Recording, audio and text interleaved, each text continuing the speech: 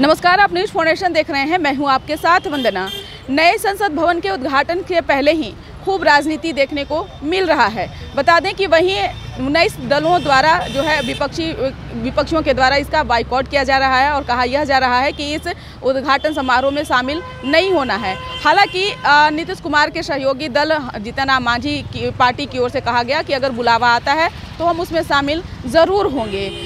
अभी हम हैं बीजेपी प्रदेश कार्यालय के बाहर यहाँ एक तस्वीर लगी हुई है और त, उन तस्वीर में जो है कई बातों का ज़िक्र किया गया है। आप तस्वीर के माध्यम से भी देख रहे होंगे जहाँ तस्वीर में प्रधानमंत्री नरेंद्र मोदी हैं। वहीं केंद्रीय गृह मंत्री अमित शाह हैं, राष्ट्रीय अध्यक्ष जेपी नड्डा हैं।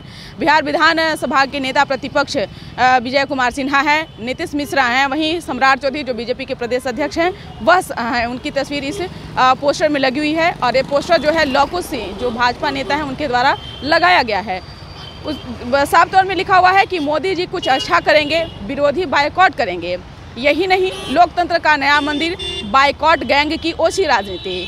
और भी ज़िक्र इसमें किया गया है पॉइंट दे करके जो है इसमें दर्शाया गया और बताया गया है कि देश के संसद का उद्घाटन हिंदुस्तान का प्रधानमंत्री नहीं करेगा तो क्या पाकिस्तान का प्रधानमंत्री करेगा? यही नहीं, देश को नया संसद मिल रहा है। यह गर्व का क्षण है इसका बहिष्कार करने वालों को।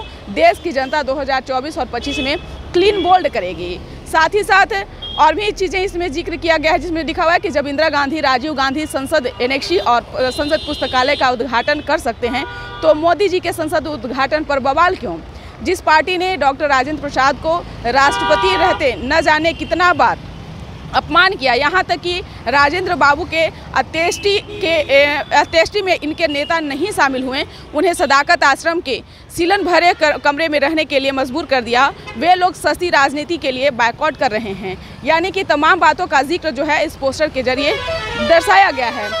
बीजेपी प्रदेश कार्यालय की कार्यालय में जो है कहीं ना कहीं नए उद्घाटन को लेकर के जो है वह कहीं कहीं ना कहीं लोगों में उत्साह जो है वह देखने को मिल रहा है और बीजेपी के द्वारा यह भी कहा जा रहा है कि यह खुशी का पल होगा जब नए संसद भवन का प्रधानमंत्री उद्घाटन करेंगे। हालाँकि बिहार में जिस तरह से नीतीश कुमार विधानसभा एनेक्सी भवन का जब उद्घाटन कर रहे थे तो क्या किसी राज्यपाल को शामिल राज्यपाल के द्वारा उन्होंने कराया था कि खुद मुख्यमंत्री ही किए थे?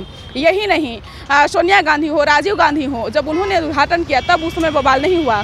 अब प्रधानमंत्री नरेंद्र मोदी जब है तो फिर बवाल क्यों? सवाल कई है, और जवाब जो है विरोधियों के द्वारा इस तरह, इस कदर दिया जा रहा है कि कहीं ना कहीं से आगे आने वाले समय में बिहार की राजनीति सहित देश के राजनीति में भूचाल आने वाला है।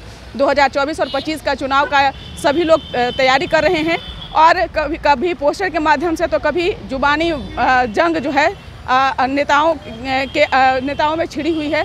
देखने वाली विषय होगी कि उद्घाटन में कौन कौन लोग शामिल होते हैं या फिर जो विरोधियों द्वारा इसका बायकॉट किया जा रहा है तो क्या बाइकआउट ही करेंगे या फिर नए संसद भवन की रूपरेखा को भी जाकर ये लोग देखने का काम करेंगे। इस पर बस इतना ही। बने रहिए न्यूज़ फाउंडेशन के साथ। धन्यवाद।